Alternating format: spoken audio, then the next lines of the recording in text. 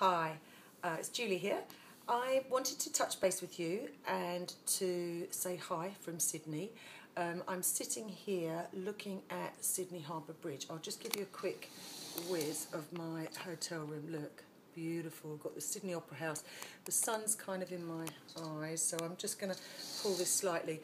Um, I've been in Sydney now for two weeks and I've been working on my coaching business and helping women who have reached that midlife area of their life, 45 to 55, where suddenly you kind of wake up and you think, where's my confidence gone and what's the rest of my life going to look like? And it's not that you haven't enjoyed your life up to now, it's just that you know that there's something missing. Now, I had exactly the same too. So I got onto a mission of basically finding how I could resolve this. Now, I put it together with all the other um, courses and uh, studying that I've done with nutrition, with hormonal balance, with exercise, mindset, um, and basically I've put all these together and I've now produced a package, a program, if you like, for you. Um, it's a 90 day program and it basically works on you.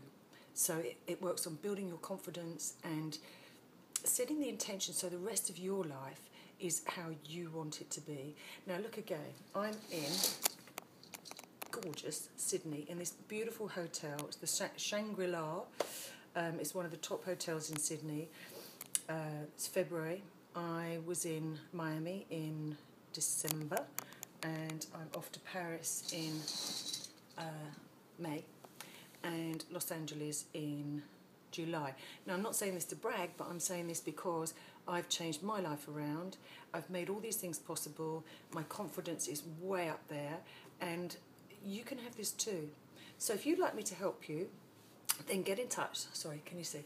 Get in touch at julieregan.com.